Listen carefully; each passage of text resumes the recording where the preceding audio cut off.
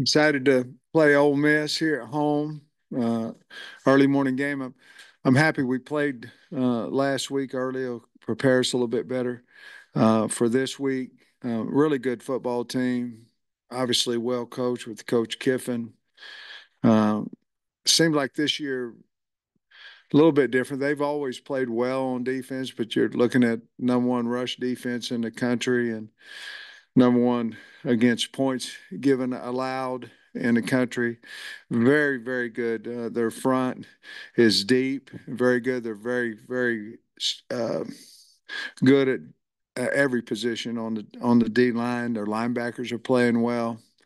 Uh, Pooh Paul's their leading uh, tackler. He's playing extremely well, and and um, they're just really good defensively. And you think about Ole Miss, you think about offense, uh, and then you go over on offense, and they have Jackson Dart, who's who's really really good. Uh, Tre Harris, who didn't play last week, but uh, we're expecting him to to be there uh, this week.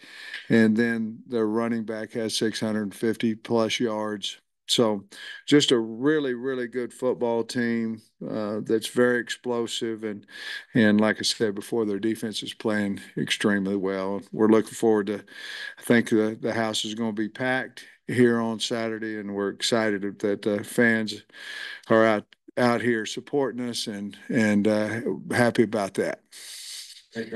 Yeah, Coach, uh, looking back at the the film, was there anything that jumped out to you that didn't during the game? And uh, specifically on defense, anything that you identified since y'all played so well up to that point? Well, there's there's um, um, you know we had 11 explosives, which you know we've got to figure out. Some of them were on the bubbles that um, uh, we've got to stop that. We lost contain on the bubbles, uh, which can't happen. It looked like, well, the safety's fitting in the wrong gap. He's not. He's fitting in the gap he should if we turn the ball back inside. And when we did, Landon and uh, the linebackers ran it down.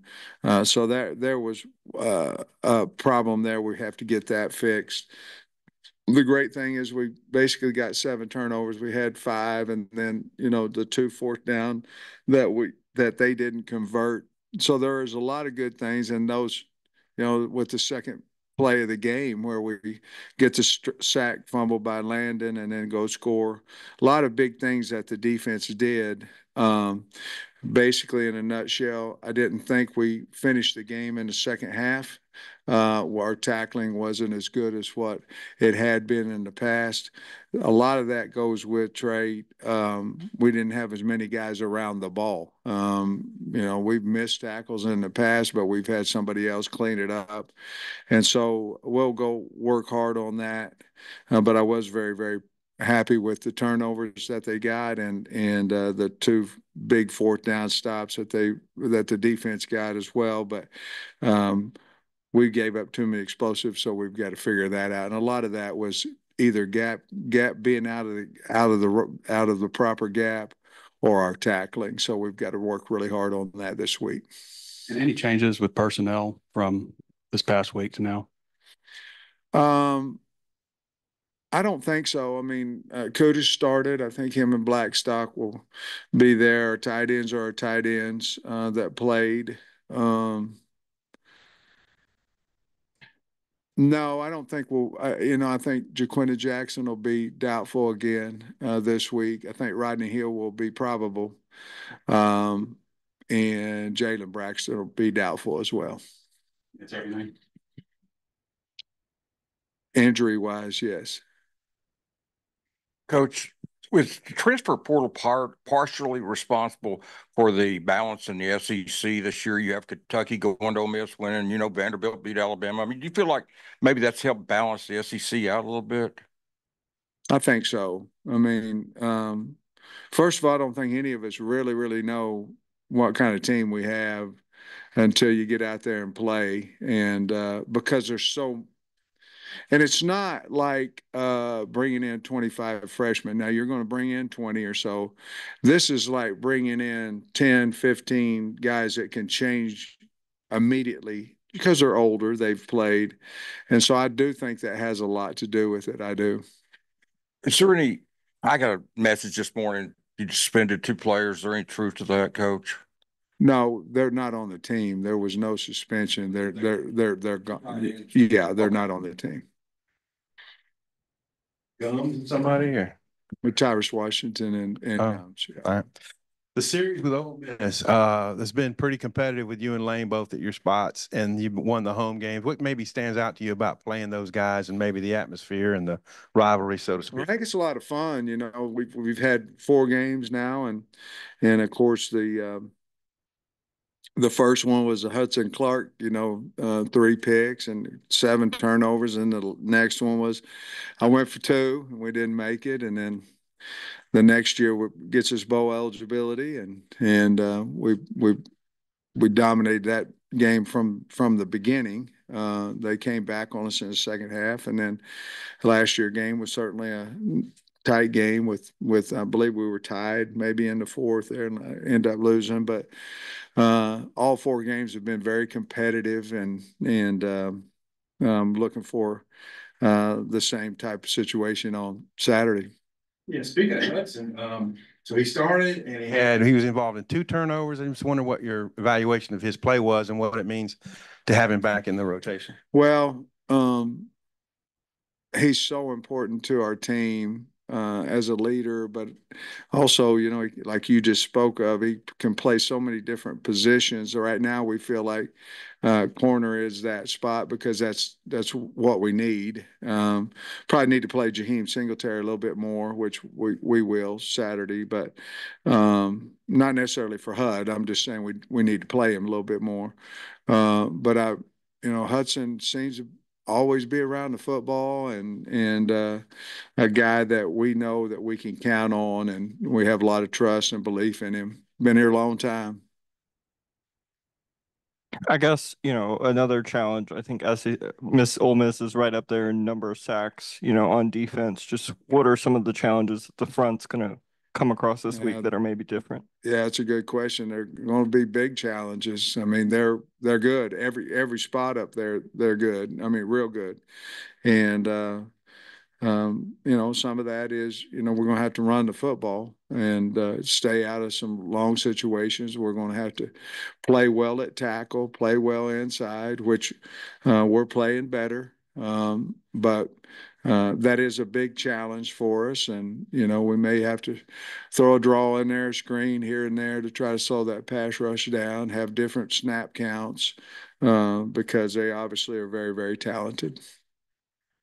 I know it's different programs, different coaches, different rosters, but looking at some of Boise State's numbers with Taylen the past couple years, uh, the tight ends weren't really heavily involved. Has that, and then this week they catch four touchdowns. Has that been something you've had to work with him on? Is maybe targeting tight ends, or was this just a, a product of the matchup this week? No, I mean, if you look at it, most of most of those plays with the tight end, they were wide open. You know, it was either, you know, the fourth and one, you know, pass to Luke, which was wide open. We had a couple of uh, roll passes, uh, naked rolls, uh, waggle rolls where they were open, and and uh, uh, but you know Bobby and and that's and the offensive staff specifically went to that because we felt like uh, they may be open. Sometimes it doesn't work out like you plan, but uh, no, we know we have uh, you know Paaske. It was really good to see. Uh, Luke has really really good to see.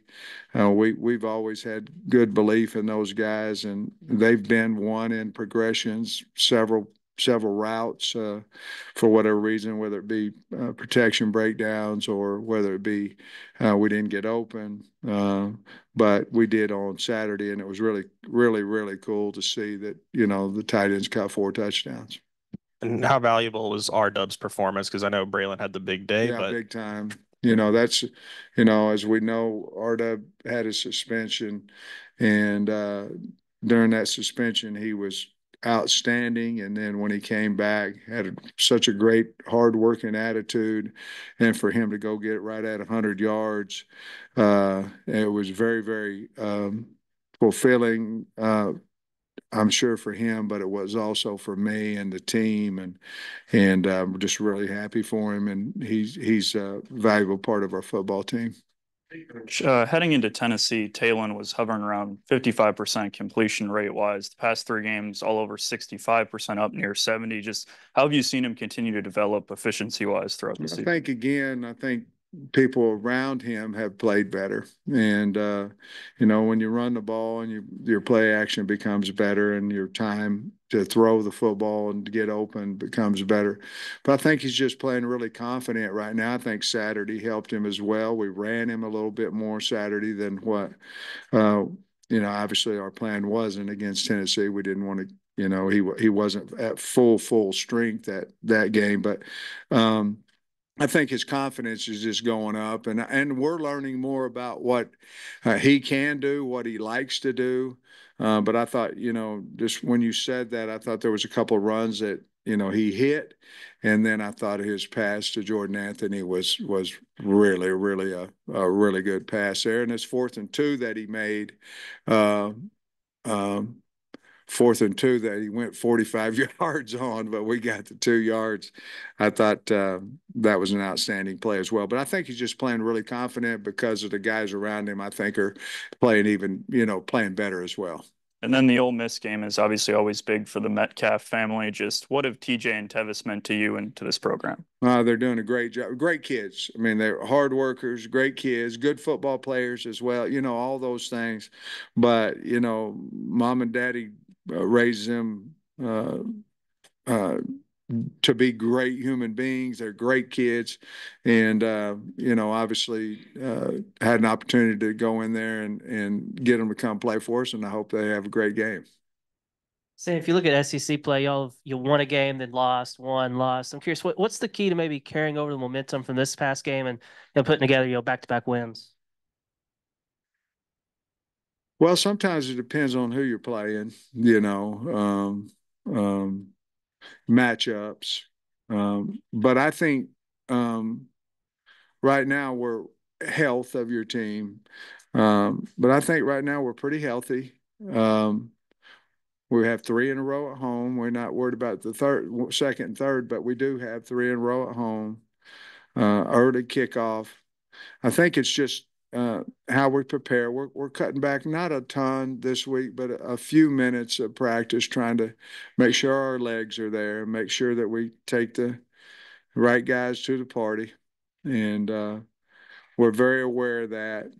Um, you know, in the past we'd been very good coming off of bye weeks, and and obviously got beat by LSU off of it. So uh, we're aware of this week's so important to us, and then we're aware that there's a bye after it. So we're taking just a little bit off of that to make sure that we're fresh. Um, but it's all about the preparation. And as you've seen in college football, I think most games are determined on who turns the ball over and who doesn't. And I think it's been that way forever. But this year, it just seems like if you win the turnover battle, you win. And I'm not for sure it matters what what the names of the teams are.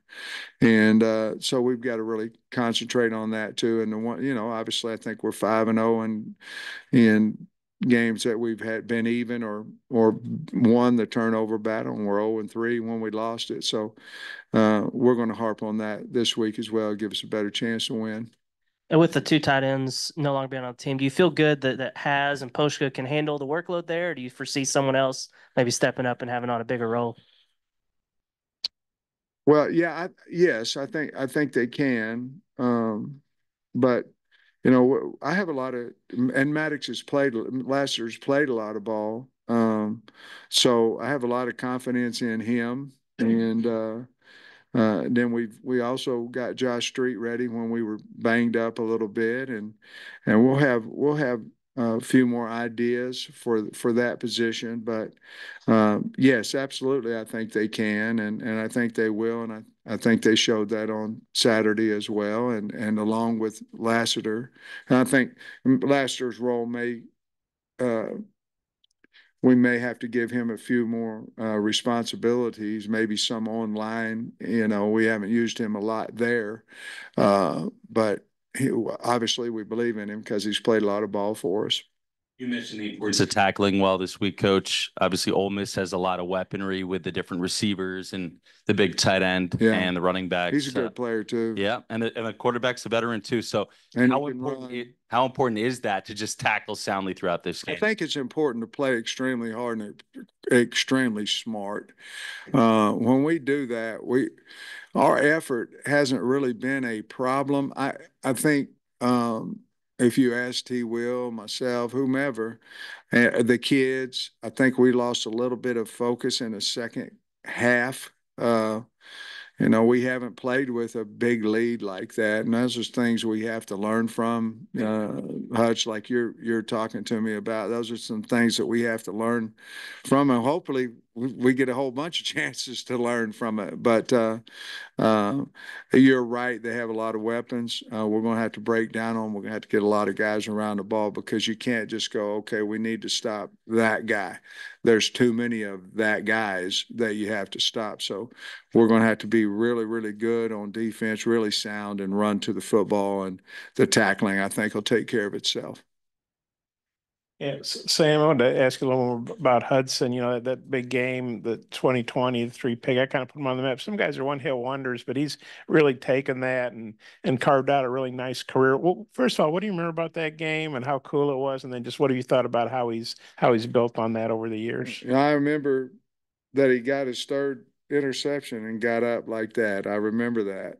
Uh, I remember that the game was pretty much in hand and they faked the field goal. Was on me because we should have been in safe and I wasn't. And they faked, or excuse me, a punt. We should have been safe and they got it and made it a little more interesting. And then Grant Morgan picked the pass and scored. I, I remember all those things about that. And then I remember walking off the field and fans were crying. And there wasn't many because it was like seven to COVID, but they were crying. And I was asked Kyle why they were crying. He said, We hadn't won an SEC game here for like two and a half years. I said, Okay, well, I'll start crying too. I mean, it was, um, but I remember all those things. And then I remember on Sunday, I called HUD in and, and, and uh, he had earned that scholarship that we gave him and was able to give him a scholarship. How, how he's built on that, you know, he's, he's carved out pretty nice. Really has. I mean, he's so valuable. He's because he know, like I said earlier, because he knows every spot in the secondary, and he's so valuable. And and we we have uh, huge belief in him, and and he's earned he's certainly earned that, and he's a good special teams player as well. We've kind of taken him off a little bit of special teams simply because uh, he got you know he back back was banged up a little bit, uh, but uh, just you know, he, him, and I think Eric Gregory are the two, and I may have missed one, but I think they're the two that have been here my entire uh, career here too. They're actually si- six, sixth year guys. Yeah. Yeah. And then, um, as I saw on the SEC site, Taylen's and, uh, and, and Braylon both got co-SEC player, offensive player and, and running back. It seems like Arkansas always has to do coast stuff. I guess that's just the way it is, but just what, what your thoughts on those guys getting SEC. Yeah, it's really that's really nice. You know, I think they'd both tell you that they had to have blocking and they had to have catching. They had to have all that around them. Uh, but for getting an individual award, I think they they would think it's pretty neat, and they'd tell say that the players out on the field helped them get that as well. But I'm I'm happy for them.